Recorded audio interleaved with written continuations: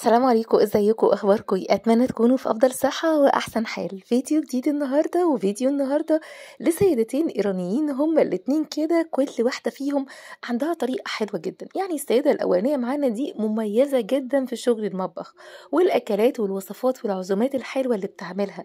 وطبعا كلنا كده بيجي علينا الوقت اللي عايزين نشوف فيه أفكار حلوة سواء طبعا بقى في الأكلات في الوصفات في كمان بقى طرق الحاجات اللي انت بتقدميها. عايزة حاجة يكون شكلها مختلف حاجة تقدري تبهري بيها ضيوفك طريقة بقى تزيين حتى الأكلات حتى أطباق السلطة سواء حتى لو انت كمان بتقدمي الأكلات والوصفات دي في أبسط ما يكون كده مش على السفرة حطها على الأرض بالطريقة العادية والتقليدية. وهنا كمان كانت والدتها بتساعدها في الشغل ده كله. وطبعا بتقول بعد العزومة بيسهل عليا جدا غسالة الأطباق كل الكلام ده.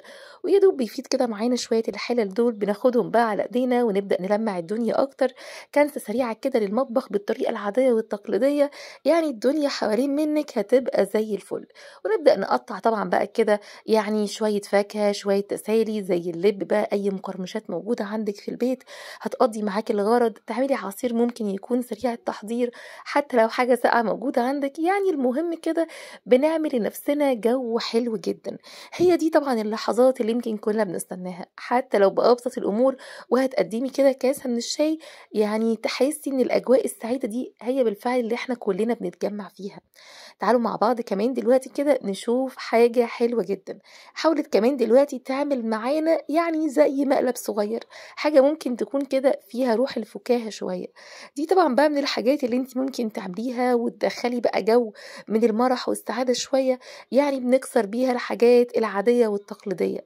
هنا كمان برضو كده تقديمة البطيخ بصورة حلوة شوية ويا ترى مين اللي حظه هيطلع في الطريقة دي. طبعا بقى هنا هي قررت إن هي تديها لزوجها وده يعتبر كده نوع من المكافآت اللي هي قررت تكافئه بيه. طبعا حاجة يعني زي موقف طريف شوية موقف ممكن يكون مضحك شوية لكن يا ترى رد فعله هيكون عامل إزاي؟ هي دي طبعا بقى كده حالة الصدمة اللي كانت فكاهية. يعني طبعا إحنا عارفين الحاجات دي بتبقى بلاستيك حاجة عادية جدا لكن جو من المرح كده حاولت إن هي تدخله في جو البيت. نبعد شوية بقى كده عن الحياة المملة الروتين العادي والتقليدي وحاولت بالفعل كده تعمل جو حلو جدا. طبعا بقى هستنى أكيد لايكاتكم الحلوه معايا الفيديو النهارده وكل كمان التعليقات بتاعتكم اللي بتفرحني وبتبسطني جدا سواء طبعا التعليقات دي فيها حاجة سلبية فيها حاجة إيجابية بكون يعني سعيدة بكل حاجة. وبحاول طبعا دايما أشتغل على كل اللي أنتوا بتبعتوهولي وكل الأفكار والآراء بتاعتكم. تعالوا كمان دلوقتي هنا مع بعض كده نشوف بقى وصفة حلوة هتحاول إن هي تبهرنا بيها. كيكة بقى حاجة ممكن تكون حلوة المذاق بتحاولي إن انت تقدميها لأفراد الأسرة عندك بتحاولي دايما تجددي تكسري بقى روح الملل والحاجات اللي ممكن يكون فيها زهق وتعملي أفكار ممكن تكون جديدة. حتى لو انت هتعملي الكيكة اللي زي دي كده في حلة عادية جدا تقدري طبعا تدخليها الفرن ايديها كمان تكون بتستحمل درجة حرارة الفرن وفي ناس كمان بيحطوها على النار ويغطوها كويس جدا وتبقى محكمة الغلق وبتطلع معاكي الكيكة هايلة زي ما انت شايفة. يعني في كده الحالات بتقدري بأبسط الأمور تعملي كل اللي انت نفسك فيه ومفيش حاجة ممكن تكون عقبة بالنسبة لك.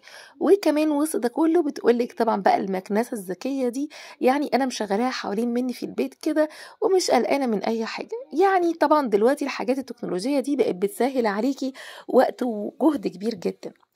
وطبعا مش هننكر إن في حاجات برضو بتكسر بقى روح الملل بتكسر كمان روح الزهق بتكسر كمان الحياة التقليدية والعادية اللي موجودة في بيوتنا كلها.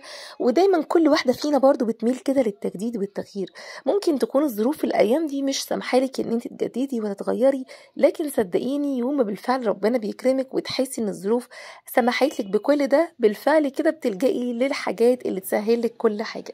ندخل كمان دلوقتي مع بعض على سيدة إيرانية تانية وظروف بيتها وشكل البيت عندها وستايله وكمان الحياة البسيطة جدا اللي بتحاول يعني تهيئ لها كل حاجة حلوة. وأهم حاجة زي ما قلت لكم مش شرط البساطة ولا شرط كمان إن البيت ممكن يكون متواضع. زي ما أهم حاجة في المنزل هي نظافة وروحه الحلوة. شكل البيت بستايله بالتجديد حتى لو حاجة بسيطة جدا مفرش بسيط يعني في منازل بندخلها بتحس فيها بالرضا والسعادة وإن أنتِ كده مبسوطة جدًا، ده يرجع كمان بقى كده لأبسط الإمكانيات اللي موجودة في بيت زي ده، يعني مش بالأثاث الغالي ولا بالعفش الغالي ولا إن كل محتويات المنزل دي ممكن تكون بأسعار خيالية، هي دي الراحة النفسية اللي كلنا بندور عليها، ولو جيتِ تبصي كمان على المنزل اللي قدامنا ده بالجنينة الواسعة اللي موجودة حوالين البيت، صدقيني هي دي المشاعر اللي يمكن كلنا بنستناها، مش مجرد يعني كده زينة كتيرة في البيت ولا عفش ممكن يكون غالي جدًا، قد ما أنتِ أكيد بتدوري على الراحة النفسية والاستقرار اللي ممكن ييجي لِك من مكان زي ده. تعالوا مع بعض نشوف كده يوم جديد وروتين جديد، ويالّا بينا نحاول نضبط الدنيا حوالين مننا أكتر. في ناس طبعًا كتيرة في الحر اللي إحنا بنشوفه بتنام في أي مكان، يعني أي مكان ممكن يكون واسع بالنسبة لها فيه هوا تحسي كده إن أنتِ عايزة تريحي فيه شوية، لكن مجرد ما تصحي من النوم بدري كده بتقومي طبعًا جري تشوفي كل شغل البيت، كل اللي مطلوب منِك، التنضيفات السريعة، مكان واسع قدام البيت عندِك زي ده بتحاولي طبعًا تكنسيه أول بأول، تغسليه، ممكن طبعًا تحطي فيه المنشر بتاعِك تستغليه أي استغلال زي ما أنتِ حابة، تعملي فيه بقى كام كرسي، قعدة حلوة، دي كلها حاجات بترجع لِك، يعني في إيديكِ تضبطي كل حاجة عندِك بالتفاصيل المريحة جدًا بالنسبة لحياتِك، هي دي الستات اللي ممكن ما فيش أي حاجة تقف عائق بالنسبة لها، الستات الشاطرة اللي بتحاول تستمتع بكل حاجة، مكان زي ده طبعًا بقى تقعدي فيه قعدة حلوة، ممكن تغسلي فيه السجاد بتاعِك، تعملي فيه بقى تجهيزات الغدا بتاعتِك. زي ما أنتِ شايفة، يعني في إمكانِك تستغلي كل جزء في البيت عندِك زي ما أنتِ حابة، تفاصيل البيت مش بتخلص أبدًا، وممكن يكون تفاصيل بيتي غير تفاصيل بيتها، إمكانياتنا أكيد مش زي بعض، هي ممكن تكون أحسن مننا في حاجات كتيرة، أنتِ ممكن يكون بيتِك أحسن منها في تفاصيل كتيرة، بتيجي تدوّري في الأول وفي النهاية يعني في لحظات بسيطة كلنا أكيد بنحاول ندوّر عليها، حتى طبعًا لو أنتِ شاطرة حابة تصلحي، حابة توضبي حاجة بنفسِك، استعنتِ بزوجِك في بعض التفاصيل اللي زي دي، حابة تضبطي الدنيا أكتر؟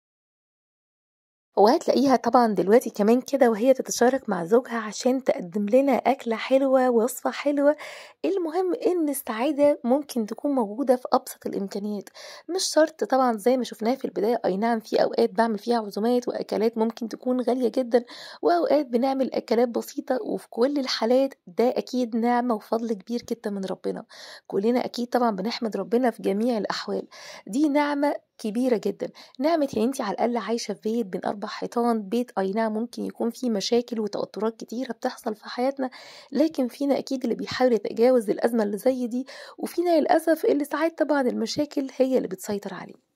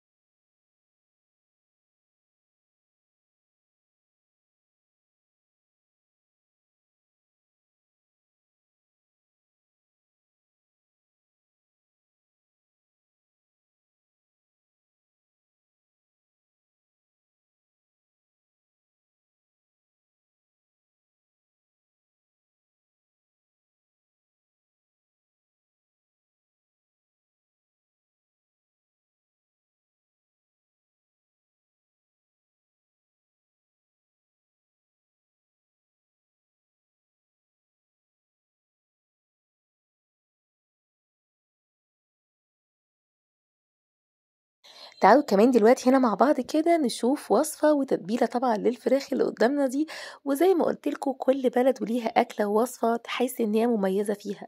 لكن عامة الكمية الأكيد اللي انت بتحبيها ممكن تكون مختلفة معاها يعني كل واحد أكيد يعني بيستعين بالطريقة اللي ممكن تكون مفضلة بالنسبة له. دي كلها مجرد أفكار أخدناها مع بعض في فيديو النهاردة وأتمنى من كل قلبي إن الفيديو يكون عجبكم بكل أفكاره بكل تكاته بكل حركاته. ولو عجبكم الفيديو هستنى أكيد طبعا لايكاتكم الحلوة عشان نبهركم بكل جديد. أشوفكم إن شاء الله على خير في الفيديوهات الجاية ومع السلامة.